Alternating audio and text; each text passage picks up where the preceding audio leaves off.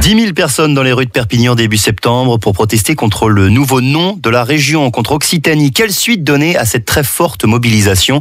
Eh bien, le collectif Oui au pays catalan veut désormais se transformer en mouvement politique. 480 personnes se sont déjà inscrites hein, pour participer samedi à Perpignan au Méga Castille au congrès fondateur.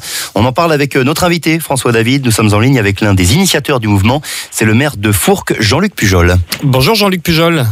Bonjour. Vous avez loué pour euh, ce congrès fondateur samedi euh, une salle de 450 places et euh, déjà il y, a, il y, a, près de 500 personnes qui se sont inscrites. Ça démarre plutôt bien cette affaire. Oui, oui, ça démarre même très très bien. Hein. Suite à l'immense mobilisation du, du, 10 septembre à Perpignan, hein, où, où 10 000 personnes sont spontanément descendues dans la rue pour crier leur colère.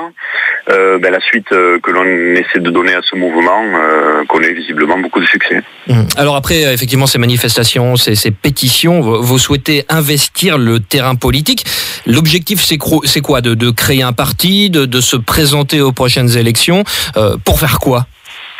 Mais l'objectif d'abord, c'est de donner une suite à ce mouvement populaire du, du 10 septembre. Hein. Euh, nous, avons senti euh, des gens très différents qui sont venus se joindre à nous, à notre appel pour, pour crier leur colère. donc il, il, faut continuer ce, mouvement. Aujourd'hui, le nom de la région a été entériné par l'État français. donc le combat sera très très long. On ne peut pas manifester toutes les semaines, ça ne servirait à rien. Donc il faut qu'on transforme le mouvement.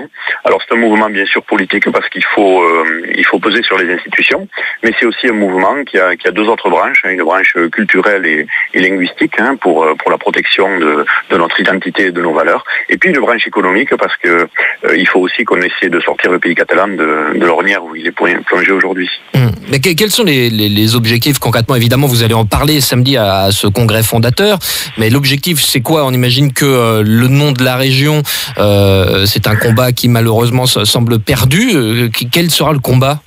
Alors le, nom de la région, c'est pas un combat qui est, perdu. D'abord, il y, a un recours qui est en cours, on va voir la suite et qui, qui sera donné euh, de la partie juridique. Euh, mais, ensuite, euh, le, combat aujourd'hui dépasse largement le nom de la région. Euh, pendant longtemps, on, a été spolié, il faut bien appeler ça comme ça, par Montpellier dans la région de Languedoc-Roussillon. En effet, le, le, président Fraîche a largement puisé dans les finances de la région pour développer Montpellier, au détriment des petites villes autour, notamment Nîmes, Béziers ou Perpignan. donc, on n'a pas eu finalement les, financements suffisants pour pouvoir euh, euh, créer des infrastructures de transport, euh, de, tourisme et, peser suffisamment sur l'économie. Euh, Aujourd'hui, on, avait mis beaucoup d'espoir dans Toulouse en pensant que peut-être dans une grande région, et puis finalement ça commence très mal. On s'aperçoit que ben, les Toulousains vont faire aux, Catalans ce qu'ont fait les Montpellierins pendant des années, euh, c'est-à-dire qu'on n'aura que des miettes financières qui vont, qui vont tomber euh, de la région. Notre part aujourd'hui au niveau de la région représente 8%. il faudrait que la région investisse plus de 300 millions d'euros hein, près de 350 millions d'euros chaque année dans notre département. Pour que ça soit équitable. Avoir... Voilà, pour que ce soit équitable. Or, euh, d'après nos calculs, aujourd'hui, on est, on est à moins de 100 millions. Donc, ça veut dire que l'agglomération toulousaine et l'agglomération montpelliéraine vont continuer d'absorber cette manne financière au détriment de la désertification des, des territoires qui, qui, qui, a autour, qui a autour. Vous dites que les 500 personnes qui vont participer au congrès fondateur viennent d'horizons très divers. Il y a des gens de droite, il y a des gens de gauche, il y a parfois des, des, indépendantistes. Euh, Est-ce que c'est pas euh, maintenant que le plus dur commence, réussir à mettre tout le monde d'accord euh, réussir à, à, mettre tout le monde en ordre de bataille avec euh, des gens qui viennent d'horizons aussi différents mais justement, moi, ça me paraît au contraire beaucoup plus simple. Hein. Vous savez, la politique, c'est quelque chose souvent de très complexe et très compliqué parce que les politiques veulent s'occuper de tout, y compris de ceux qui ne connaissent pas très très bien. Euh, là, c'est un mouvement qui est territorial, c'est-à-dire qui est limité euh, aux frontières de, de, notre département.